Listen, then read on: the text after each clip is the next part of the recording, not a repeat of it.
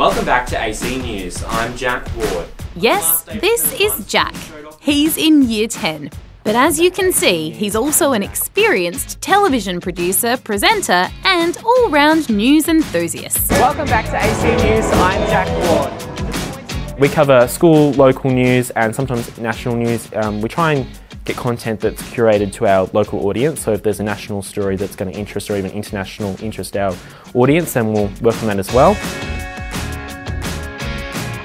Jack goes to school in Ararat in regional Victoria.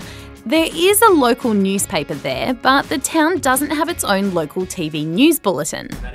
So that's where this team comes in. Jack had the idea of creating a newsroom within his high school to give keen young reporters the opportunity to fill the news gap and get experience. And luckily, his school thought it was an awesome idea.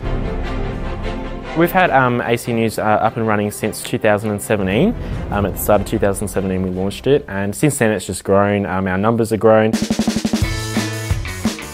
The students are super passionate about bringing people the news. And by all accounts, they're doing a really great job. They've even managed to break some big local stories. Um, just recently we covered a story of the Ararat Eagles who were at crisis point, they were having a crisis meeting and the club was going to fold. Um, and one of our media teachers here was involved with the club and suggested we do a story on it. So we broke the news of the crisis meeting, which was kind of a shock to the community because not everyone expects that sort of thing. Is this the uh, school cat? Yeah. yeah. Well, Jack, I think the big news story here is how this newsroom has a cat. But moving on. AC News now has its own news site, which gives more students the opportunity to get involved. We launched our website at the start of this year, which has kind of broadened into writing as well, which has been really exciting and allowed for more people to be involved because not everyone wants to be in front of a camera and would rather be behind the keyboard. So now there's just lots of different areas going on and um, every like lots of students getting involved.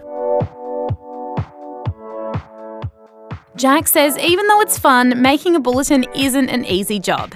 Yeah, you're telling me. These students take it really seriously, working at lunchtime and sometimes even pulling late shift when there's big news going down, just like pro journalists. In fact, that's what some of these students are hoping to be in the future, and I reckon they're on the right track going down the media path now, um, one of my friends, you know, she's looking at going into film and TV, and I'm going to be heading to Channel 9 for work experience, which is really exciting. So yeah, it's creating a lot of opportunities for young people as well, which is really exciting for the future. That ends this AC News Bulletin. I'll see you next time. I'm off to rock and roll.